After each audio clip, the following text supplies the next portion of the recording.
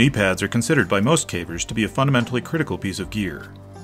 Although very uncommon, I've met a few cavers that don't use them or use extremely minimalist options because they aren't comfortable and the caves they typically visit don't have a lot of crawling. However, I've met a multitude of older experienced cavers who did this when they were younger and they almost always have regrets for not taking better care of their knees. Knee problems are one of the main reasons many cavers quit the sport or scale back their involvement, and many of these knee issues can be mitigated by wearing appropriate protection. The choice of what knee pads to use is a very personal one. Differences in what clothing is worn, the shape of the leg, the type of cave passages that will be encountered, individual comfort standards, and even the crawling style of each caver vary significantly. Most cavers have a favorite knee pad, but because of these many variables, there definitely is not a consensus about the best option for all cavers in all situations. Something almost all cavers do agree on is that no knee pad is as comfortable as we would like or stays in place in all circumstances. Cavers are fortunate to have a wide selection of knee pads that are designed specifically for caving. There are also a number of options that are designed for other activities. Sports such as volleyball, skating, mountain biking, and snowboarding sometimes require knee pads. Tactical military uses and some construction activities such as roofing and flooring also utilize knee pads. The volleyball, skate, and construction knee pads are more widely available from places like Walmart, Home Depot, or Amazon, and many cavers use these because of the better availability and often low price. The trade off is usually worse protection, reduced comfort, or poor durability. Most non caving, sports oriented pads are designed for occasional impact protection rather than for regular sustained use, and they usually consist of an elastic sleeve with padding sewn onto the front of the sleeve.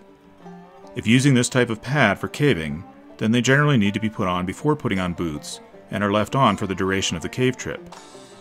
And due to the lack of adjustability and low durability, most cavers wear these underneath pants or cave suits. These pads are designed to protect the kneecap from impacts, so the padded area is usually fairly short and doesn't protect the area just below the knee or further down the shin.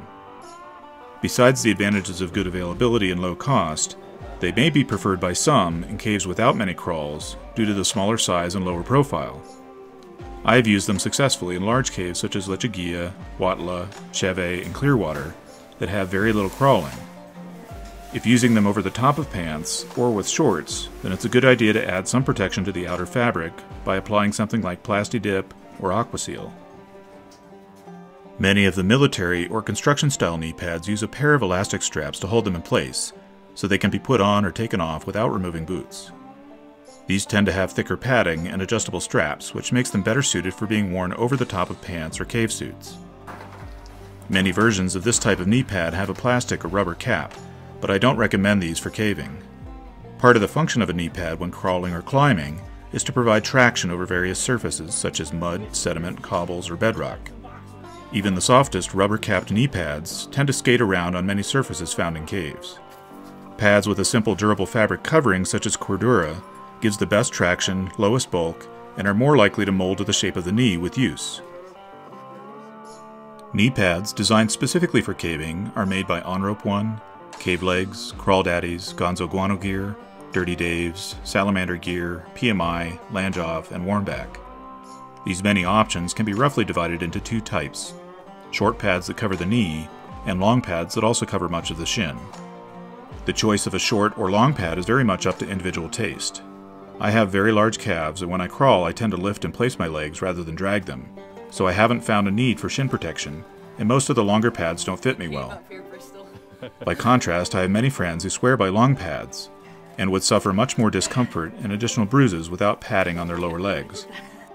Almost all of the caving specific knee pads have straps that allow them to be put on or taken off without removing boots, and they are designed to be worn over the top of pants or cave suits.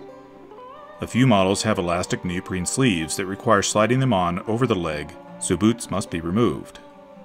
Short pads typically have two straps, one above the knee and one below. Long pads generally include a third strap to secure the bottom of the shin.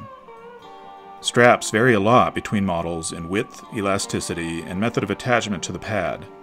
Some designs certainly perform better than others, but they all shift out of position at times, and they all chafe the back of the leg. Many straps use plastic buckles for either attachment or adjustment, and these are usually pretty durable, but have been known to break. Many types of plastic adjustment buckles have a tendency to allow the strap to loosen over time. If this is a chronic issue, then you can adjust the strap to the desired length and then run a line of stitches through both sides. This will prevent the strap from slipping, but a single row of stitches can be easily pulled out if an adjustment becomes necessary. There are also many straps that use Velcro for adjustment and fastening. These work well as long as you don't open them and allow them to get muddy during a trip. The padding type and thickness varies a lot between models.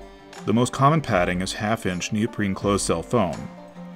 This type and thickness of padding is adequate for most caves and is a good balance between bulk and protection. Neoprene foam is reasonably soft but also resilient, and will conform to the shape of your knee after a couple of trips.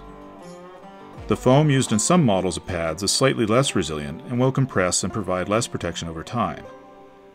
A few models, such as the Howitzers and Dirty Daves, can be opened, allowing the padding to be replaced or additional padding to be added, which allows some customization. Aside from dedicated knee pads, there are also pants such as Carhartt's and some models of cave suits that have pockets in front that allow the insertion of a pad. This adds a little bulk to the cave suit, but this is one way of adding padding without the discomfort of straps that run behind the knee. The trade-offs are that the cave suit takes most of the wear and tear rather than a less expensive pad, and the padding usually moves around a lot and can move out of position so that it isn't providing protection. This type of padding pocket is common in pants designed for the construction industry, and as a result, you can find a variety of pads for this purpose on Amazon. If you want to cut your own padding, make your own knee pads, or replace worn padding in existing knee pads, then you can also order rolls of foam padding from Amazon. Search for neoprene sponge foam rubber, which is available in various thicknesses. The half inch material, without an adhesive backing, is a good option for most caving applications. Some cavers will cut neoprene from an old wetsuit, but this usually requires two to three layers. I'll be doing reviews on a variety of popular caving knee pads in the coming months. For a comparison of knee pad features such as cost, strap attachment and adjustment type, padding thickness, and sizing options, head over to my website at derekbristol.com and check out the caving gear section.